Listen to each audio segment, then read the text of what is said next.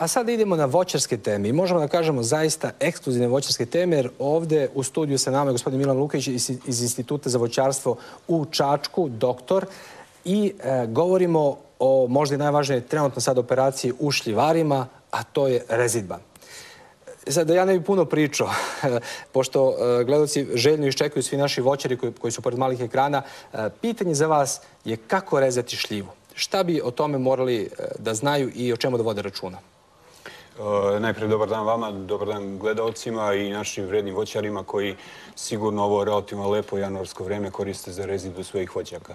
Kao što ste rekli, obzirom da ćemo danas govoriti o šljivi, odnosno rezidu šljive, ja bih samo napomenuo da je šljiva naša najznačajnija i nacionalna vrsta. To je sigurno tako. Da vidimo kako ćemo da rešimo. Kada je u pitanju, kada je u pitanju rezidba, ono što je ključna stvar, to je najpre da moramo razlikovati, odnosno u osnovi rezidbe, jeste razlikovanje položaja i praktično kategorija pupoljaka na samim, na samim grančicama.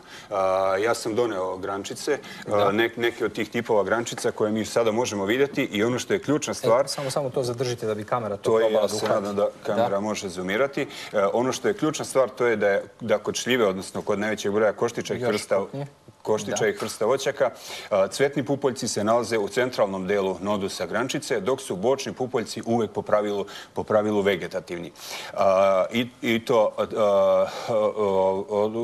izvinjam se, bočni pupoljci su zapravo, zapravo generativni, dok su znači, centralni pupoljci uvek vegetativni. Međutim, cvetni pupoljci mogu biti čak i u centru nodusa, ali uglavnom se nalaze u bazalnom delu, u bazalnom delu grančice.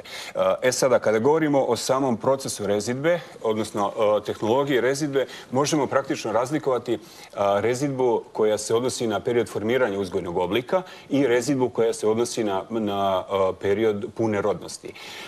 Kod rezidbe, u, kod formiranja uzgojnog oblika, veoma je važno da tokom perioda vegetacije primenimo u adekvatno vreme odgovarajuće pomotehničke mere, koje pre svega povijanje grana i tako dalje, čime postičemo diferenciranje cvetnih pupoljaka, tako da bismo upravo upravo sada u ovo vreme imali dovoljno generativnih pupoljaka i praktično imali e, jedan početni, početnu inicijalnu rodnost koja je osnova za formiranje, za dalje formiranje uzgojnog oblika. E, ono što u periodu formiranja uzgojnog oblika, tokom zimskog perioda, e, što je neophodno primeniti, to je najpre odstranjivanje konkurenata vodilice, onda prekraćivanje vodilice na dužinu od, dve, od negde jedne trećine do jedne, do jedne polovine njene dužine, povijanje letorasta na odgovarajući uga otklona u odnosu na vodilicu, to je neki 60 do 70 e, stepeni.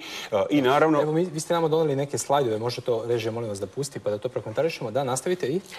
I onda, naravno, formiranje, odstranjivanje onih letorasta koji su koji su e, dužine, koji su e, deblji od e, praktično polovine od od polovine debljine vodilice i ovdje, vidimo interesantno na ovim slikama ovo su razni uzgojni oblici. Vitko vreteno šta je sad tu važno? Tako je. Za razliku od jabuke kod kod šljive mi gde je vitko vreteno jedan standard u proizvodnji kod šljive mi praktično nemamo definisan tačno definisan uzgojni oblik. Zapravo kod u najvećem broju zasada u našoj zemlji postoji veliki broj veći broj Šta je ono što vidimo, gospodine Lukiću, doktore, ovo razvođenje grana? To je nešto što je jedna, jedna od pomotehničkih mera koja je veoma važna, koju sam malo prenapomenuo.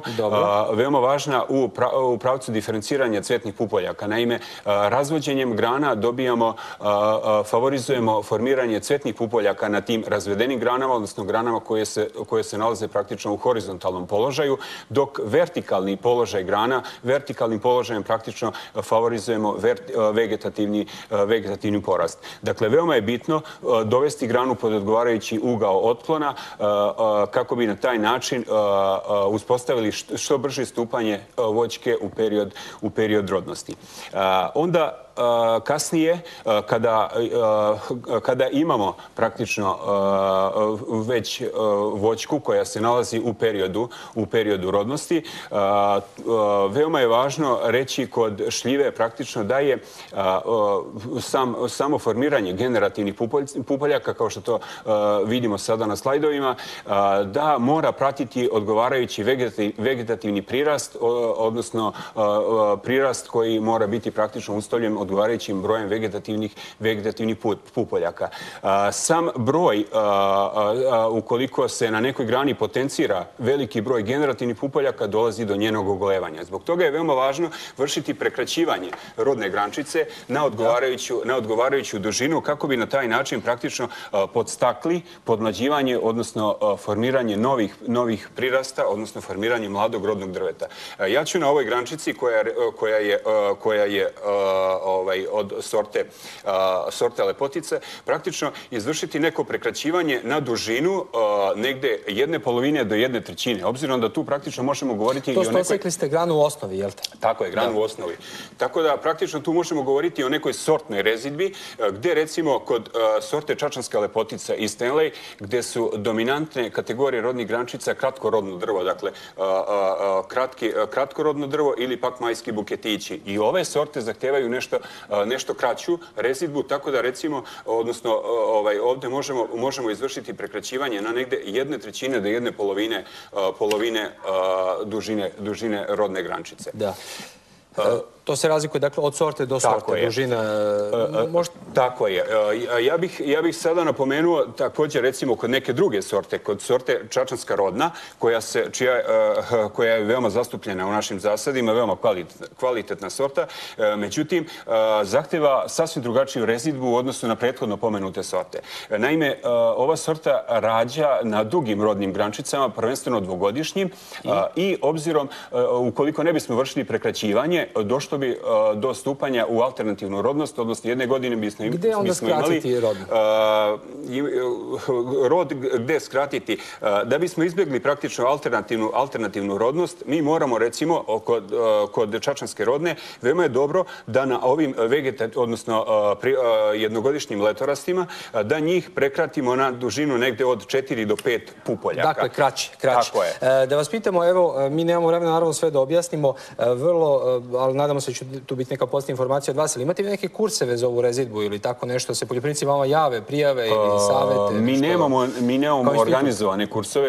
Ali mogu recimo voćari da naravno, se Naravno, apsolutno se mogu javiti za sve informacije koje, koje, koje im trebaju. Doktor Lukiću, e, mi se nadamo ćemo doći kod vas u Čačak da snimimo kako vi to radite, što bi se reklo, na licu mesta, odnosno kako se treba pravilno raditi rezidba, a evo čuli ste i voćari mogu da se javaju na institutu, on zato i postoji da bi obrazovao naše poljoprivnike. Mi se zahvaljujemo novim informacijama. Dakle, čuli ste, nije svejedno koja je sorta doktora Lukića, e, ovako korisne savete, nisi svejedno koje sorta i kako režete. Hvala još jednom i vidimo se brzo.